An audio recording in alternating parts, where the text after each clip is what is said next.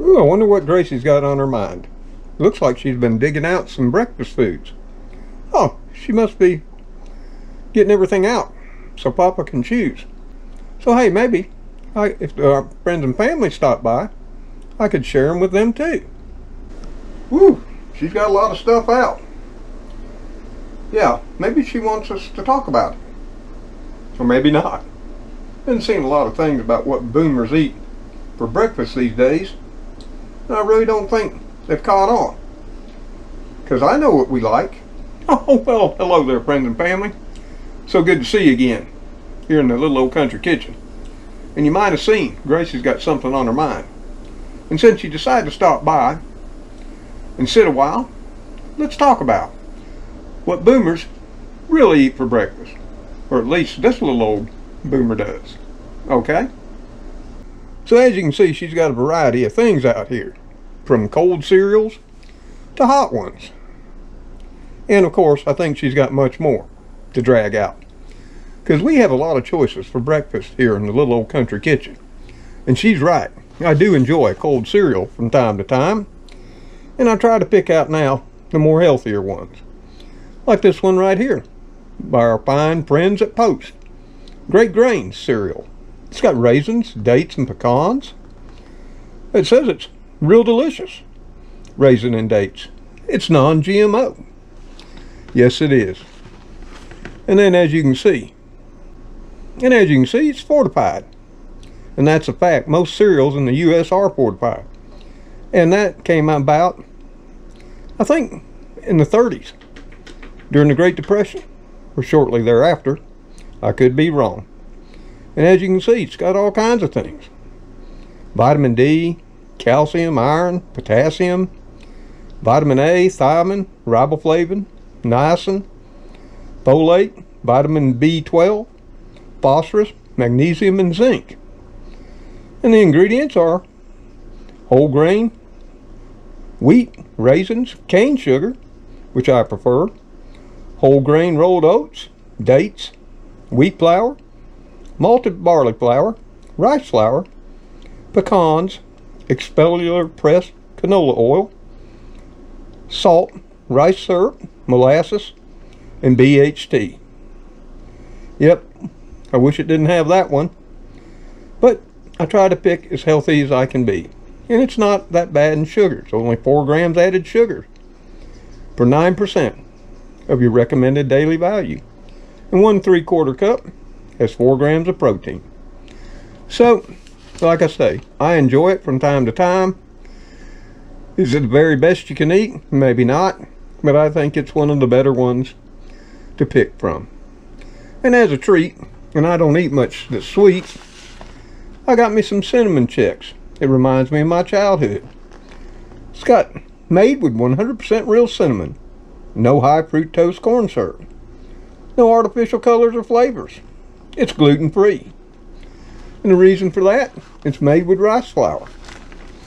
And it's got a plethora of vitamins fortified in it as well. And its ingredients are whole grain rice, sugar, canola and or sunflower oil, salt, cinnamon, molasses, and something that surprised me a lot was rosemary extract. Natural flavor, vitamin E.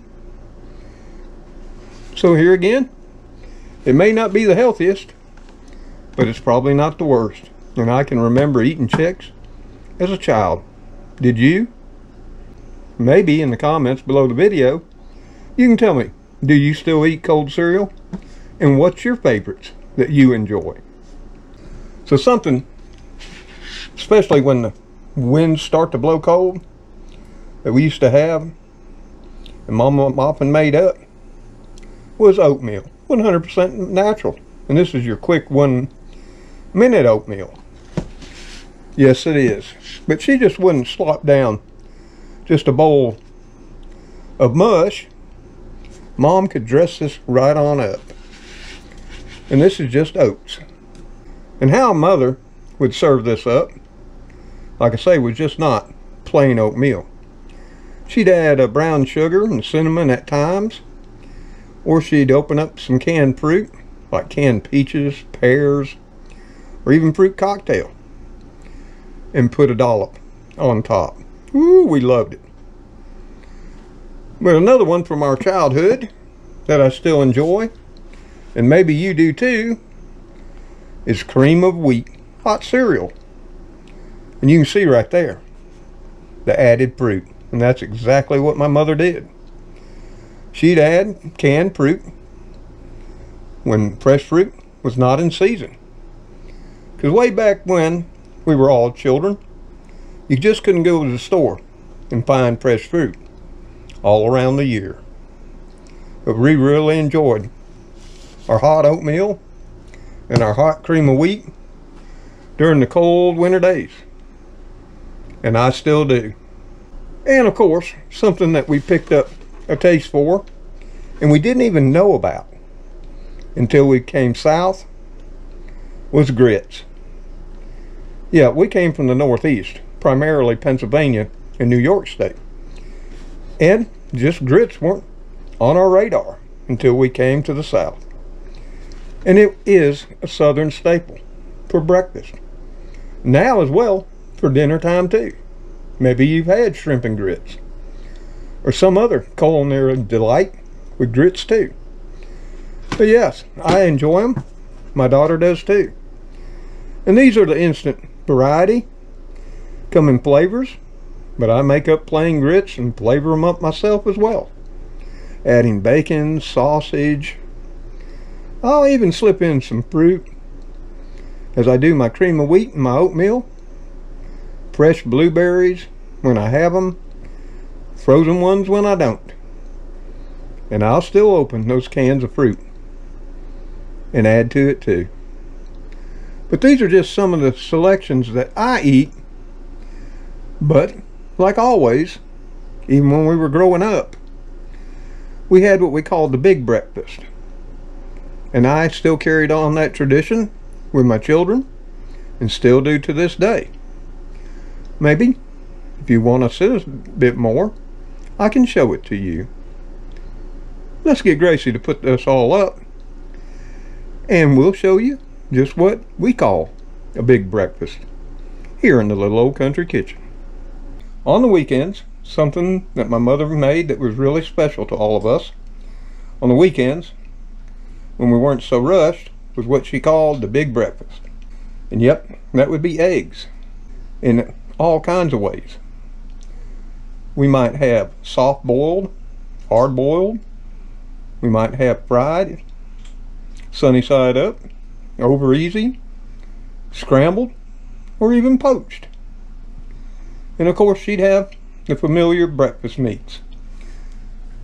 We would enjoy country ham that we have right here.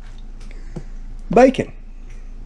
Now this is fully cooked that I got on sale for only $2 a box. I thought that was quite real. And then, of course, we'd have our sausage. And nothing beats Swaggerty's. Because if you know, you know. And of course, we'd have some bread to complement the meal. Primarily, since we were from the Northeast, we preferred toast or bagels or even English muffins and on occasion some homemade biscuits. Like this one right here. It's the only one I got left from the last batch that I made. And you know my mother also would cook up from time to time as I have too things like French toast and pancakes. But these are the things that I choose from when I get up in the morning and it all depends on how I feel some mornings, all I feel like is a bowl of cold cereal with some fruit and some juice, maybe a glass of milk. And like I say, since it reminds me of my childhood, when the winds blow cooler and get cold, I get that hankering for some nice oatmeal, all hot. And you know that fills you up. Or the cream of wheat. Or even a nice bowl of grits. So yeah, in the comments below the video, let me know what things you can remember enjoying for breakfast in your childhood and what you still enjoy every day in your household.